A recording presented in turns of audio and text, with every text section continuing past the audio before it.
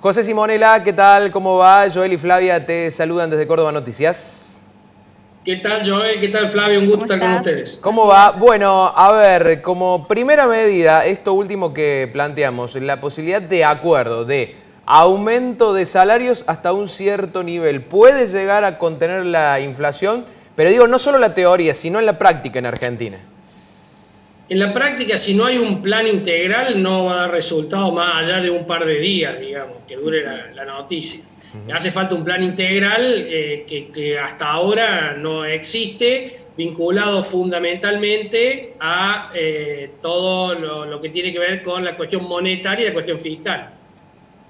Bien, José, en este sentido, ¿qué posibilidades reales hay en nuestro país de tener este plan quizá a largo plazo? ¿Están dadas las condiciones? Porque bueno, se supone que uno espera que el gobierno sea quien tome las riendas en el asunto, pero por momentos vemos que se aplican nuevamente recetas de larga data, recetas viejas que no han dado resultados. ¿Podemos tener en nuestro país con la inestabilidad que hay un plan a largo plazo?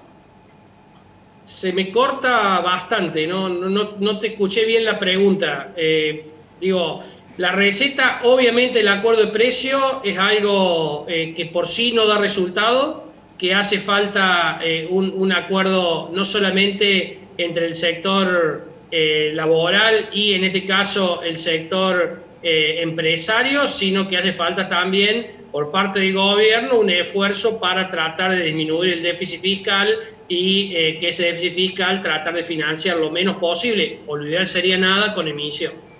En las últimas horas, en los últimos días, se ha planteado también una polémica sobre si se puede influenciar a partir de la retención y cuota en los precios internos. Y según a quien uno escucha, unos dicen no y otros dicen sí. Eh, ¿Cuál es la opinión de Simonela? Mira, Joel, eh, en realidad el presidente eh, está, digamos, intimando o dándole un ultimátum a la cadena del maíz y del trigo. ¿no? Eh, claramente lo, que esto lo que esto influye en los precios es muy, es muy poco. Eh, digamos, sobre la influencia de los precios es mucho más relevante el tema impositivo, por ejemplo, el 21% de IVA, lo que viene de ingresos brutos, las tasas municipales y los demás impuestos. Así que todos sabemos que cualquier producto que consumimos, prácticamente el 50% de lo que pagamos es impuesto. Así que si el gobierno quisiera disminuir la presión inflacionaria, tendría que revisar el tema de impuestos.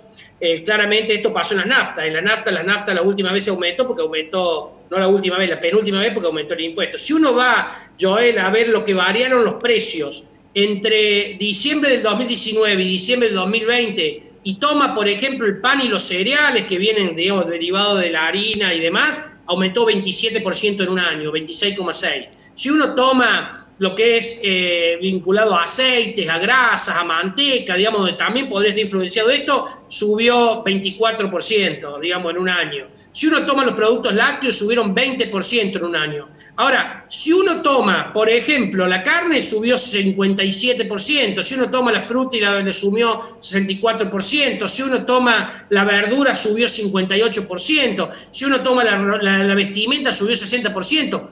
Claramente lo responsable de la inflación no es el sector del maíz y del trigo. Esto tiene que ver más con, un, con buscar culpables para sacar la responsabilidad de la inflación fuera del gobierno, por un lado, y por otro lado no hay que descartar la posibilidad del gobierno que esté amenazando con, imponer retenciones, porque la necesidad fiscal está, a efectos de apurar la liquidación de eh, aquellos, digamos, cereales que todavía tienen los productores, de tal suerte que lo liquiden antes que venga esta retención y de esa forma poderse hacer los dólares que tanta falta nos hace a, las reservas argentinas.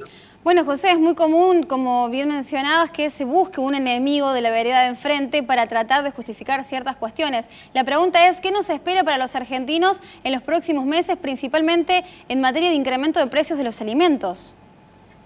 Bueno, el propio relevamiento de expectativa de mercado que hace el Banco Central, o sea, es un relevamiento oficial de las principales consultoras económicas, bancos y universidades, le da una expectativa de inflación del 50% para el próximo año.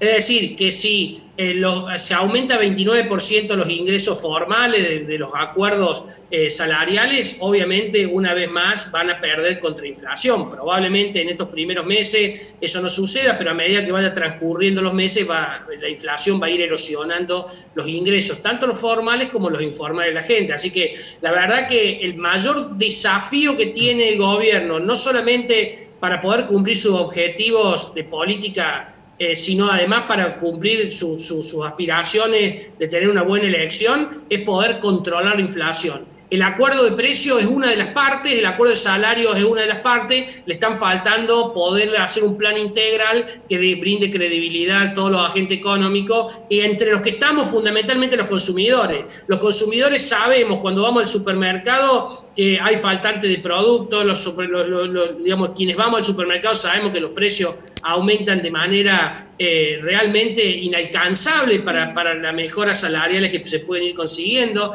Así que el desafío que tiene el gobierno es la inflación, porque la inflación genera pobreza y genera además eh, em, indigencia. ¿no? Así que digo, la verdad que ahí está, me parece, el foco del gobierno en donde tiene que trabajar y esto no se soluciona con relato, se soluciona con medidas concretas. Sin dudas, sin dudas. José, simplemente agradecerte por estos minutos y por el diálogo.